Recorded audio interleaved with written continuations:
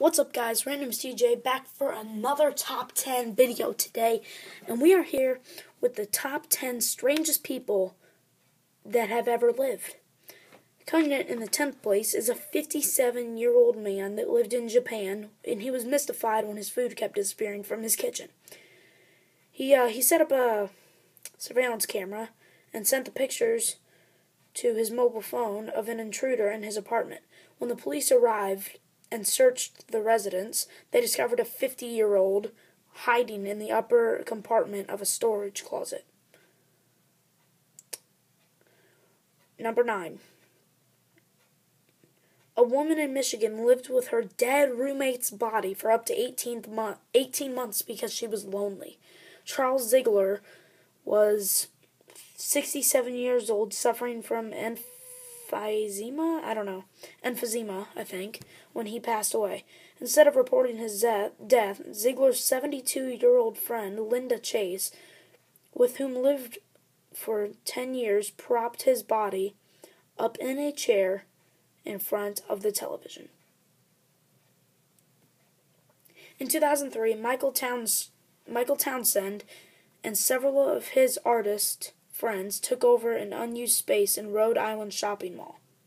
They managed to sneak two tons of construction materials into the mall and create their own studio apartment, which was hidden from view by a wall of cinder blocks. The room had electricity and was fully furnished. Though they used the mall bathrooms, they managed to go unnoticed, living in the space for up to three weeks at a time for four years. Some of these people are pretty creepy.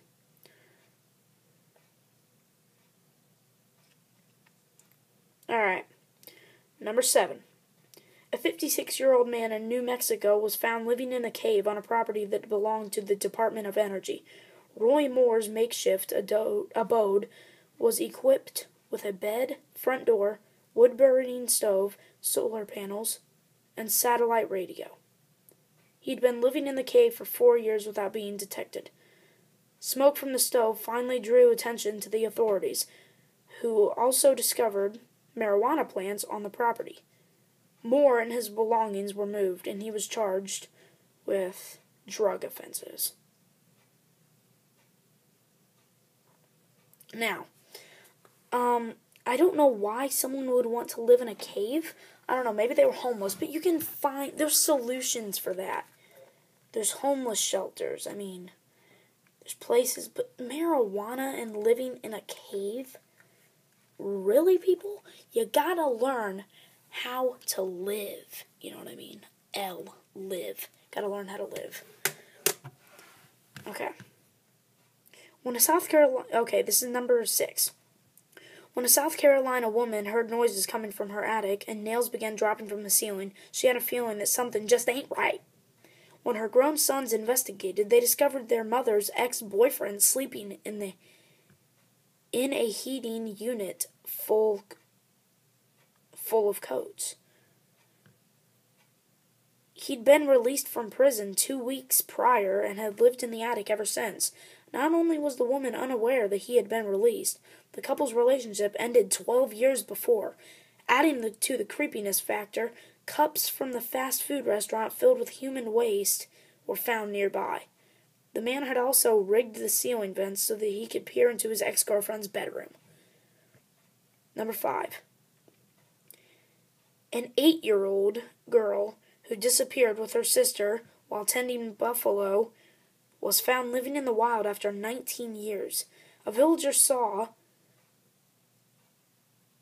uh, that person emerge naked from the jungle in a. Okay, I don't really know these ones. They're weird. Like, this one has a lot of weird words that I've never heard of. Okay, so I'm just going to skip to number four. Sorry about that. A 50 year old man in Paris was found living in a small room with a slanted ceiling, which had only 1.5 square meters of space, which is only 17 square feet. Wow. There was barely enough room to stand, and the man lived there for 15 years. The rent was 350 euros a month, which is about $442 a month in real life. When asked how he coped in these accommodations, he told French radio station, I come home and go to bed. The landlord found himself in hot water because French law says apartments and parents need to be at least 9 square meters, 97 square feet, and must include a shower. So it was just a shower. Another one. Well, this is number three. While investigating copper thefts in a nearby grain mill, police in Kansas City, Missouri, discovered an elaborate series of underground tunnels where some cities homeless had taken up residence. Wow.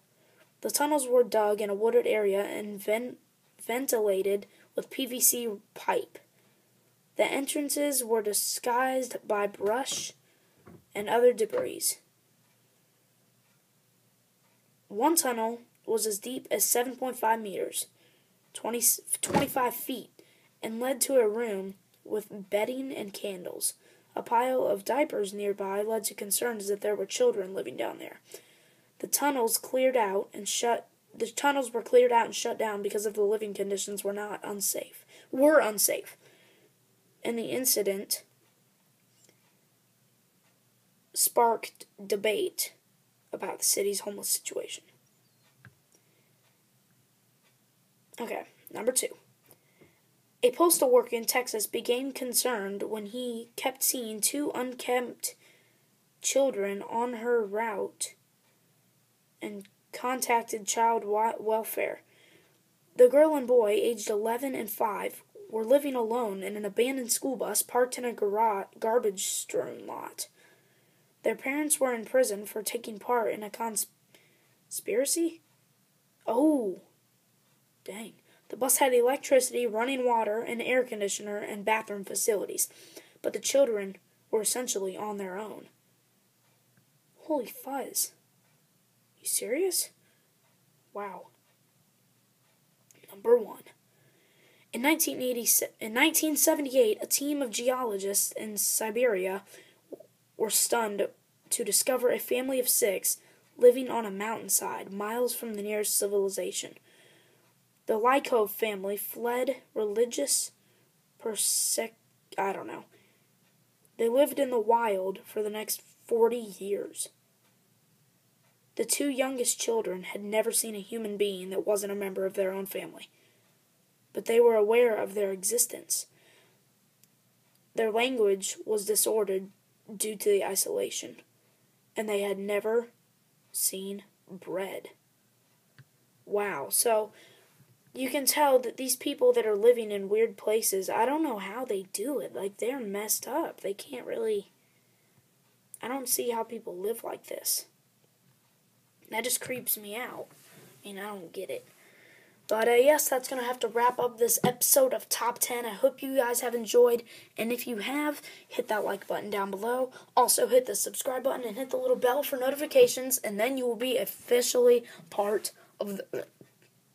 Excuse me. And you will be officially part of the random family. Yes.